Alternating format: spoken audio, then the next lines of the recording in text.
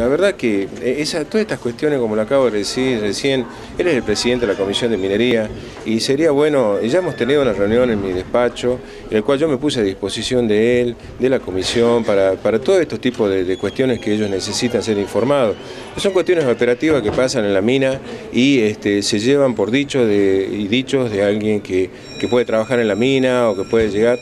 Yo le pido, por favor, que si ellos quieren y tienen alguna duda, él, él, sabe que la Secretaría de Minería está a disposición para esto. Si hubo algún derrumbe o no hubo un derrumbe, debe ser en la parte operativa. No es que esto cierre, porque es una cautelar en la cual eh, un particular ha presentado una denuncia ante Mineral Lumbrera por una alteración ambiental en el año 2007. Es decir, si hubo algún derrumbe o alguna cuestión, es por las cuestiones operativas, como puede ocurrir en cualquier mina del mundo o en cualquier lugar, pero no es la consecuencia de la parada esto.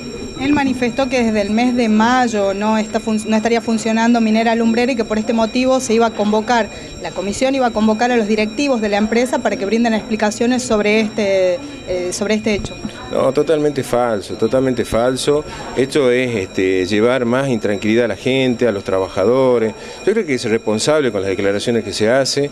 Por favor, yo, yo me pongo a disposición de él para que él tenga toda la información. Eh, la minera está produciendo, no ha bajado su ritmo de producción, eh, las contrataciones, los servicios, la mano de obra. Eh, realmente estamos trabajando con el cierre de mina. no, no, no, no, nada que ver con este tema.